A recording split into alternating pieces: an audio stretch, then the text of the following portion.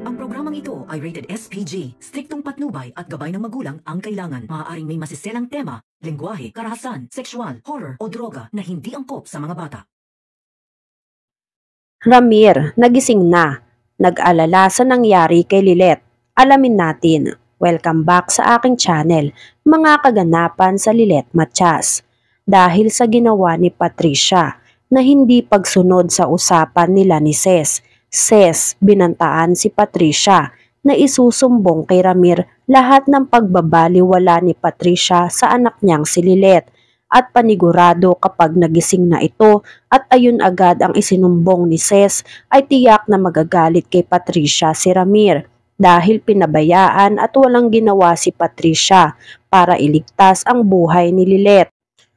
Kahit nga itong si Trixie ay nakukonsensya sa ginawa ng ina niyang si Patricia dito kay Ses dahil tuluyan nang ang nagbago ang pag-uugali nitong si Trixie at tuluyan nang naging mabait. Bukod doon ay ayaw ni Trixie na magalit sa kanya ang kanyang daddy na si Ramir kung sakaling malaman na wala silang nagawa para iligtas ang ate Lilit niya. Samantala, hindi pa din nagpaawat si Patricia sa mga plano niyang mawala sa buhay nila si Lilet kahit binalaan na siya ni Ses at pinagsabihan na siya ng anak na si Trixie, e sinubukan pa din ni Patricia na kumbinsihin si Ira pagtapos makausap ni Patricia ang mga kapulisan tungkol sa update tungkol kay Lilet at Meredith nagtungo si Patricia sa police station nang malaman na matyagang nag-aantay si Eira doon ng tawag ng mga kidnappers para madala na nila ang hinihinging ransom at maisagawa na ang entrapment operation para kay Sally at sa mga tauhan niyang kidnappers.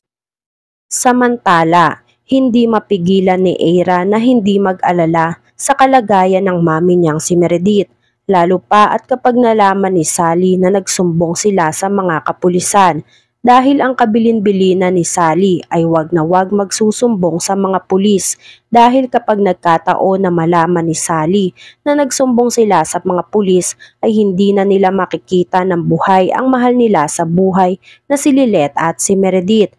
Pero no choice nga itong si Eira, kundi sundin kung ano ang mas makabubuti para sa mati niyang si Meredith lalo pa at hindi nila kontrolado ang utak ni Sally. Maya-maya, biglang dumating si Patricia at dumiretso ito sa tabi ni Eira. Bumulong si Patricia kay Eira. We need to talk Eira. Mag-usap tayo privately, wag dito.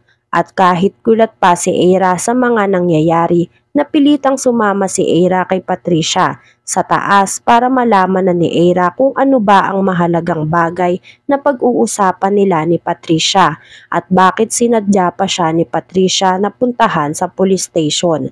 Agad-agad sinabi ni Patricia ang pakay niya kay Eira. Di ba matindi ang galit mo kay Lilet?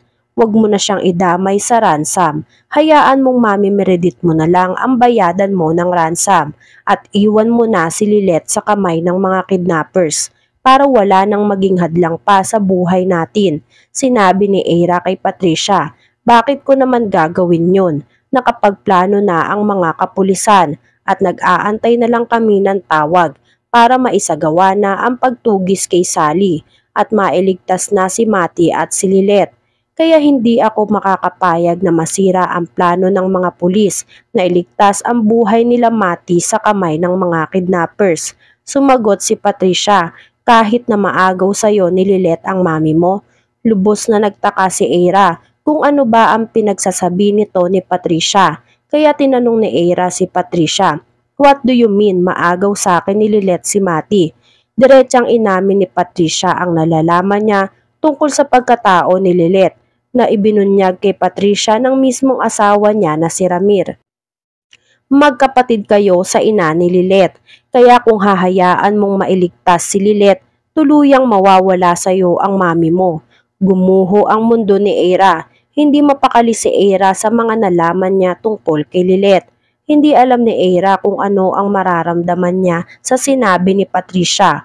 Una ay ayaw maniwala ni Era kay Patricia na baka ginagamit lang ni Patricia ang revelasyon na yon para hindi isama ni Eira si Lilet sa pagbabayad ng ransom sa mga kidnappers. Pero napakagaling na sulsulera nitong si Patricia.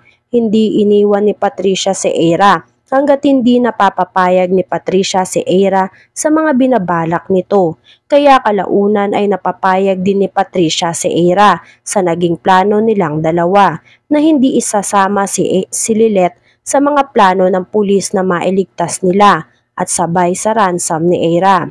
Dahil nagkasundo na si Era at si Patricia sa mga plano nila, bumaba na ang dalawa at sinalubong ni Kurt at Bonnie si Era at si Patricia Laking pagtataka ni Bonnie at Kurt kung bakit magkasama si Patricia at Eira. Samantalang mortal na kaaway ang tingin ni Patricia kay Lilet. Nagsabi si Kurt, kanina ka pa namin hinahanap Eira, saan ka ba nang galing? At dahil sa pagtataka nga nitong si Bonnie, nagtanong din si Bonnie kay Eira, anong meron? Bakit magkasama kayong dalawa ni Patricia Eira? Maya-maya, dumating si Tinang Ses Umuusok ang ulong, ilong nito sa galit, lalo pa at nakita nito si Patricia. Sinagot ni Ses ang tanong ni Bonnie kung bakit magkasama si Eira at Patricia. Sumigaw si Tinang Ses. Siguro dahil gustong isabotahin ni Patricia ang plano ng mga pulis na iligtas ang anak kong si Lilet. Nagtanong si Bonnie kay Eira kung totoo ba ang sinasabi nitong si Ses na may plano ang dalawa para mapahamak si Lilet sa kamay ng mga kidnappers. Agad tumanggi at nagmaang-maangan si Eira sa sinabi ni Ses at Bonnie. Samantala, tatakas na muli si Lilet at si Meredith. Una nilang plinano na makahanap ng bagay na maaari nilang maging depensa sa mga kidnappers.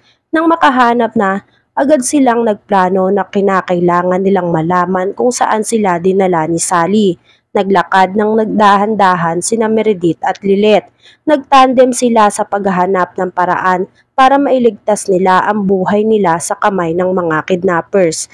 Mabuti na lang at matalas ang mata ni Lilet, kaya nakita ni Lilet ang lugar kung nasaan sila.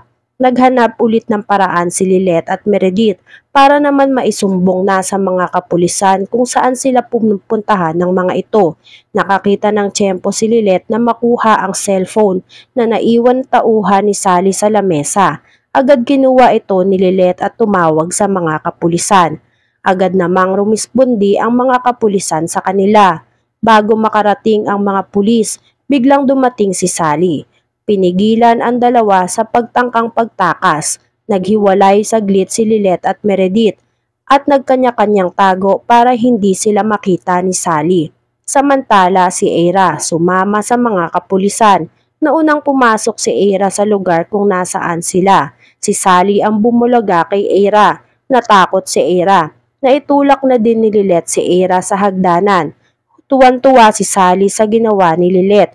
Nataranta itong si Lilet, ano kaya ang mangyayari kay Eira? Tuluyan kayang mabubura sa alaala ni Eira ang nalaman niya tungkol dito kay Lilet? Yan nga ang mga kaganapan at mga dapat nating abangan dito sa Lilet Machas. Kung gusto niyo pa ng mga gantong klaseng video ay mag-subscribe at i-like itong video na to. Maraming salamat po.